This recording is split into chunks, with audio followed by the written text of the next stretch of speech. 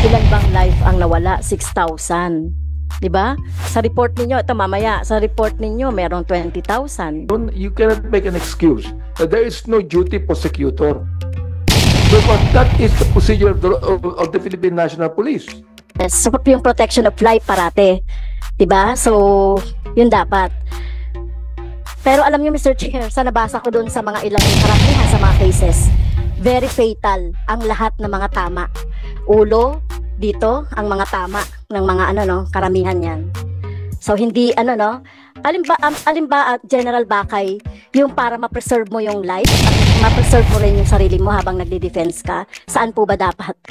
Kung halimbawa, nakata- nakataas ng kamay ng tao or nanlaban siya or whatever. So, alin po ba yung sinasabi niya para ma-preserve yung life? Saan po ba yung tama nun? Um, based on our police, operational procedures, Mr. Chair, we have classified the three approaches in cases of encounters. First and foremost is that the non-lethal approach. That is, of course, in consonance with our uh, principle of preserving life.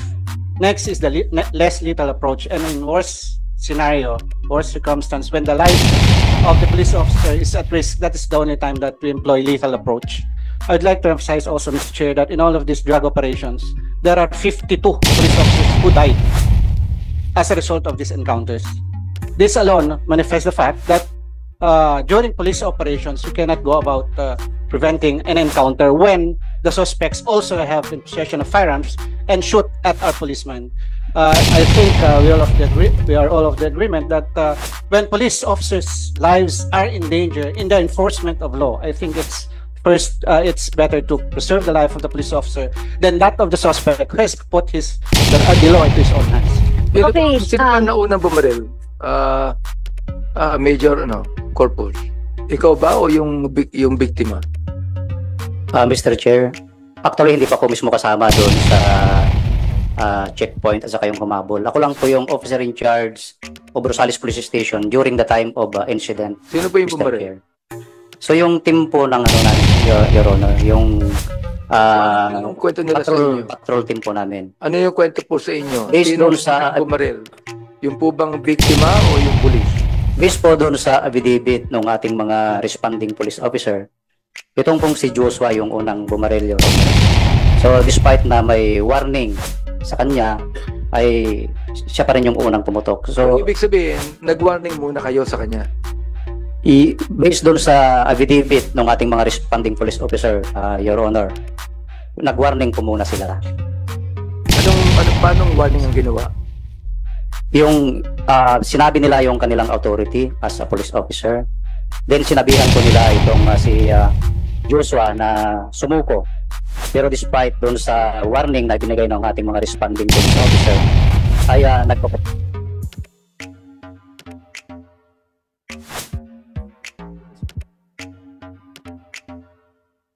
That's all, ah, Mr. Chair.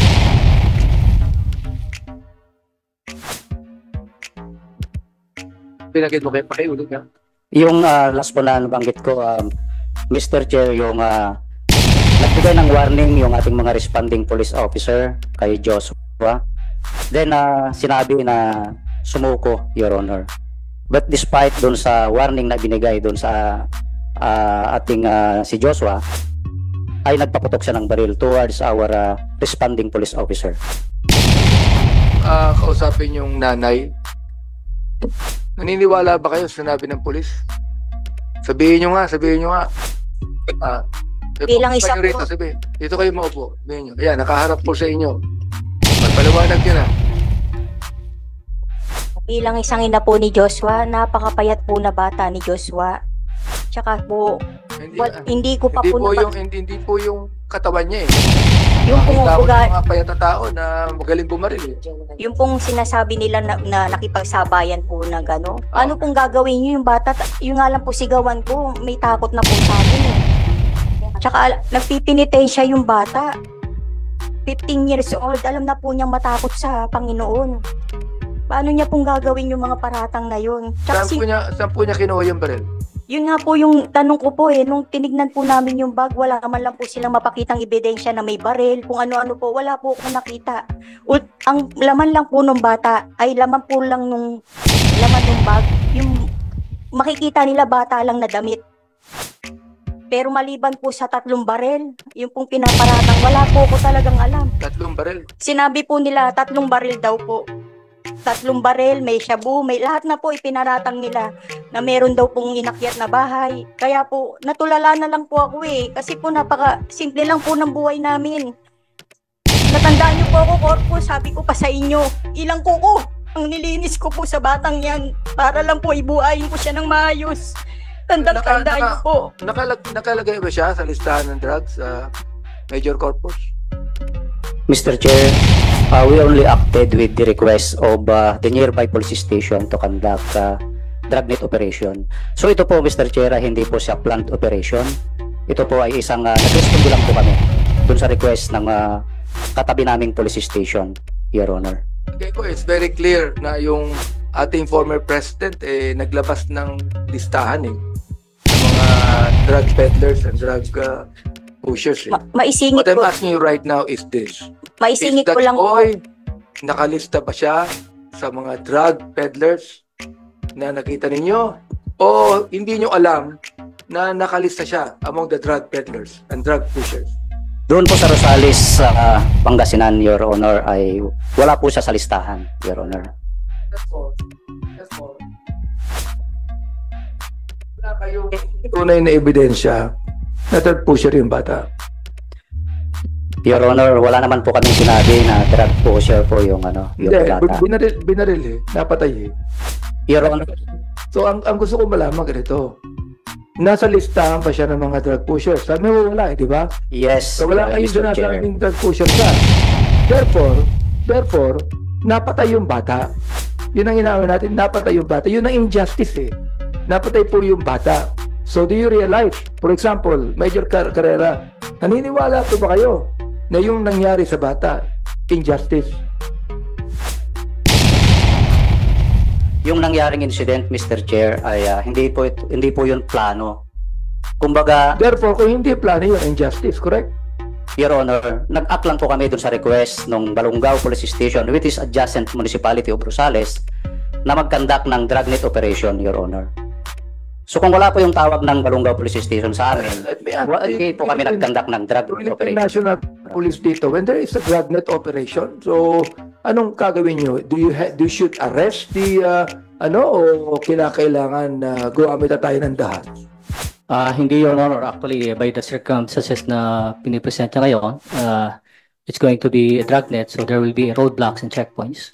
So just the same, uh, for us to be able to justify the use of firearm, it requires imminent uh, threat, and that imminent threat is real, just to be able to justify the self-preservation and self-defense, your honor.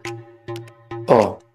Ah, madam, sagutin mo yung sinasabi nila. Maisingit ko lang po kasi doon po sa aming lugar po, si Joshua po kilalang kilala po na maging, magaling po sa computer.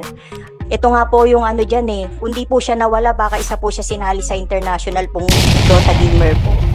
Kahit sa barangay po namin, never po nagka-record yung anak ko. Ganun ko po sila pinalaki ng maayos po. Bakit po siya nasama sa drug operation? Kasi Dragnet. po, yung pong bata nagto-tournament at legit naman po sa aking nanay na lumalaban po siya sa iba-ibang lugar po eh. Dahil yun po talaga yung hilig po ng bata. Pero wala po kung kahit po nagdodota po yan, alam ko po araw-araw na nagawa po niya. Binabantayan ko rin po yung anak ko. Kaya alam ko po yung kung yung mga sinasabi po nila, hindi, hindi ko po mapaniwala talagang kayang gawin po nung anak ko yun. Kasi araw, gabi, tinitignan ko naman po yung anak ko eh. Kaya paano pong mangyayari yung ganong baratang po nila sa anak ko?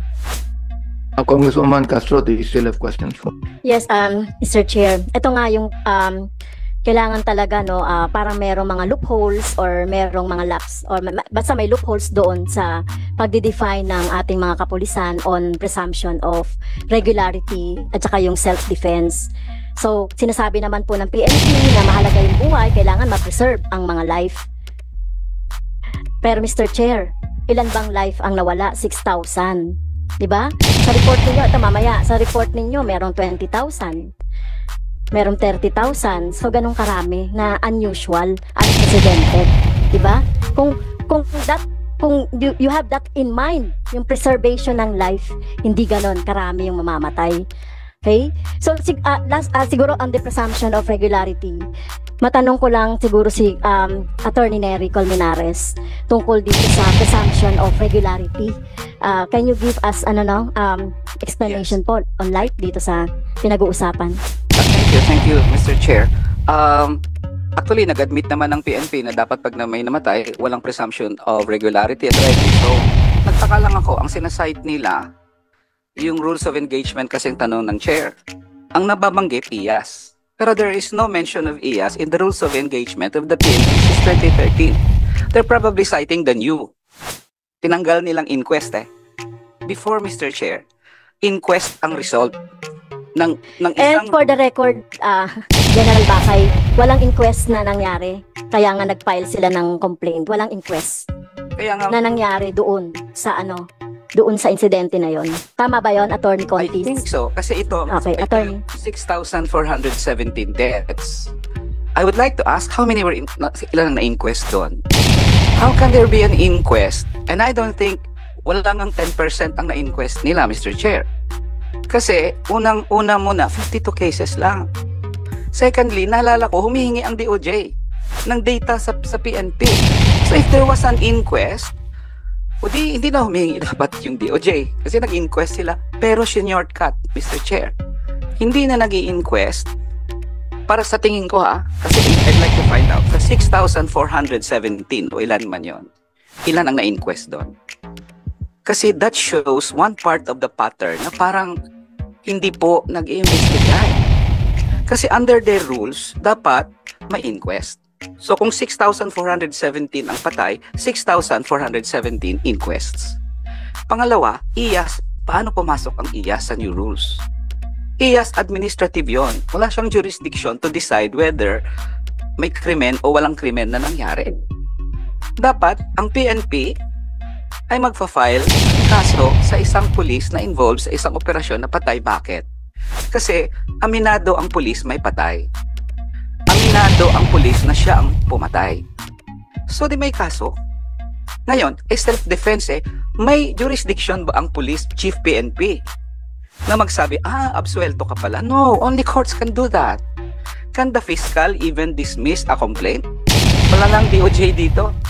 Pero ang fiscal, pag may nag-file na kamag-anak ng complaint doon, at tinanong niya sa counter affidavit ang pulis, at sinabi ng pulis na, oh, nandun ako, pinatay ko, oo, tama yun, pero self-defense, the fiscal cannot cannot uh, dismiss the complaint. Uh, I'm just answering, Mr. Chair, the question. Yeah. So para sa akin, yun yung self-defense in people versus Makaslang. Anong sabi ng DOJ? We believe Mr. Makaslang had no intention to kill PO3 Kalumba. Attorney, uh, uh, uh, before you continue, no, I'd like to ask uh, our new director of the NBI, no, being, you have been a fiscal, di ba? And a judge, no? So, ito pinag-uusapan natin. So, what do you think of what we're talking about here? And perhaps bilang new director ng NBI, what could you have done and what you plan to do? Ah, una po, ah, gusto kong ipaalam sa Honorable Committee sa period ng 2016 up to 2022 per record wala po meron kaming mga drug operation but zero casualties on both sides. Nahuli ho namin, wala na saktan sa eh, um, on the part of the NBI. Ah, Wala po kayong dragnet operation. meron mga operation sir on drugs but ah, wala pong nasawi sa aming mga nakamay no Ah, pare- pati sa mga agents wala naman po nasaktan From 2016 to I can say up to present your honor up to the present. yes sir So, walang anumang collateral damage ang nangyari sa inyo. wala po sir May sasagutin po ng Philippine National Police yan. Okay. So, ano pa ano pa ho? Ano po? ah, so, kung wala pong ah, ano man nangyari, ah, pero nagkaroon kayo ng dragnet operation as far as drug war on drugs is concerned. yes sir. Meron po. Ah, but ah, alam niyo po ang batas natin. Ang NBI hindi po namin primary jurisdiction ang drugs cases. Nasa batas po natin ang primary jurisdiction niyan ay nasa PIDEA. As a matter of fact, ang SOP po sa lahat ng law enforcement agency, you cannot conduct ah, drug operation without coordinating with the PIDEA. So ganun po ang policy dyan. Ngayon, tungkol naman po sa tinatanong nyo na rules of engagement, being a former police officer, ang rules of engagement po, ang paggamit ng baril ay ah, final option. Last course. Wala ka nang magawa, tsaka ka lang gagamit ng baril. Ah, ganun po. Ah, ah, gumagamit lang kami ng baril by, dahil sa self-defense, defense of stranger, yun lang po. Yung regularity na sinasabi in the performance of uh, duty, sa last na pong part yun. Pero ang paggamit ng baril, kailangan talagang merong imminent danger on the part of the police officer. Laging sinasabi, final option. Ga- ganun po.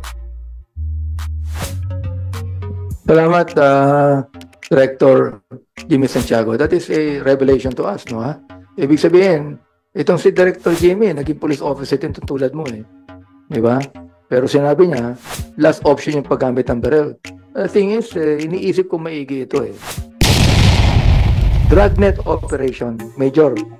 Hindi ikaw ang kumalabit ng barrel. Okay, anong ginawa mo ron sa kumalabit ng barrel? Ikaw na ah, ikaw na leader niya. Anong ginawa mo? In this case, uh, Mr. Chair, Okay. In the case that perhaps uh, it's discussing right now. Uh, Mr. Chair, gusto ko lang linawin na yung unang sinabi ko kanina na hindi po ako kasama doon sa...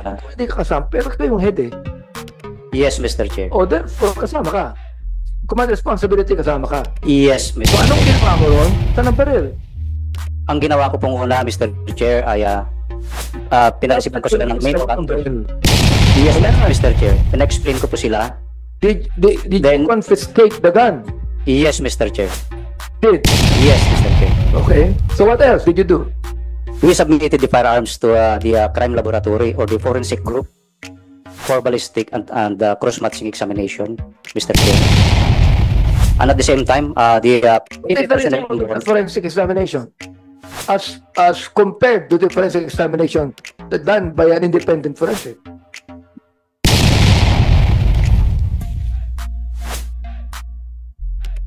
The council cannot coach the uh, uh, resource uh, person.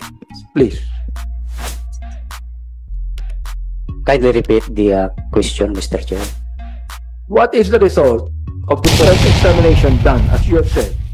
Ah, because Attorney Conti gave us the result of the forensic done independently. Uh, Honor. pag gusto ko din, Attorney, ano, anong the resulta? You got the result, am I right? The, the ballistic examination, And you also believe enough as a police officer. Di ba? You're a major. Yes, sir. So, nung unang panahon yan, major ka ba o kapitan? Major, Mr. Chair. Major. Yes, So Mr. therefore, resp- responsible. Yes, you were Mr. you're not responsible. Hindi ikaw bumarel. I am responsible, Mr. Chair. And responsibility, you are responsible. Yes, Mr. So Chair. what is the result of the forensic examination?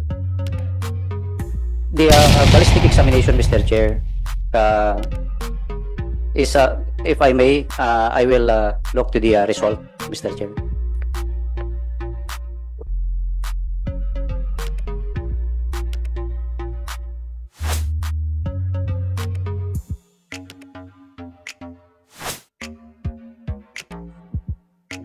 You may go ahead and make your comment, Attorney Conti. Your Honor, uh, first, the forensic examination that we conducted was on the body. It was a forensic pathology examination of the body, parang autopsy po. Because precisely, they did not conduct an autopsy. Second, Your Honor, as to this cross-matching ballistics um, test They did not conduct an, An autopsy, on the victim. on the victim, on the victim's body po. Ito pong, ngayon, ito po yung binabanggit na forensic examination sa Okay, do you accept that? That you did not conduct an autopsy on the victim? No, Mr. Chair. Uh, we make a request to our uh, uh, rural health unit, So uh, therefore, here, uh, Mr. Chair. You are rejecting the uh, uh, the statement of Donny Conte that Yes, you Mr. Chair. conduct an autopsy. We conducted, Mr. You Chair. did. Oh. Yes. Do you have the result of the autopsy? Yes, Mr. Chair. Conducted by our uh, municipal health officer, Mr. Chair.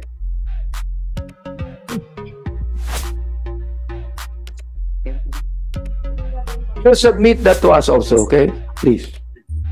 Yes, Mr. Chair. Sir Chair, meron na akong tanong kay Major. Yeah, go ahead, Congresswoman. So gusto lang nating i- ano dito no, establish na hindi kayo nag um, wala po kayong what there was no inquest in the incident. Nagkaroon po ba? Yes or no? No, Miss uh, Ma'am. Okay. So yun lang po Mr. Chair. Hindi sila nag-conduct. Because uh, can I justify? No. Kasi malinaw sa rule ninyo, di ba? Bawat may mamamatay, dapat may inquest. So wala nang wala nang justification doon, Mr. Chair. But our area, the Rosales uh, Pangasinan Rosales Police Station, has no duty inquest prosecutor during night time. So the incident So, yun was transpired Yun nga, Mr. Chair. 3 a.m., Your Honor. Well, well, so mal, ma- ang, ang ano doon, walang inquest, walang nangyaring inquest. Okay? So hindi nag nag, nag ano no, hindi nag exercise ng due diligence ang pulis para ma-inquest kasi nandoon yan sa nandoon yan sa ano nyo, hindi pwedeng sabihin nyo walang ano doon eh. Walang prosecutor. You could have called an inquest fiscal. Eh. Usually, a poli- uh, the head of the police station commander, ah, kapag walang inquest fiscal, tumatawag yan sa inquest fiscal. You make an inquest. Ibig sabihin, you did not follow the procedure. Because we have no duty inquest prosecutor in our area. I'm saying. You should have called an inquest fiscal. Don't, you cannot make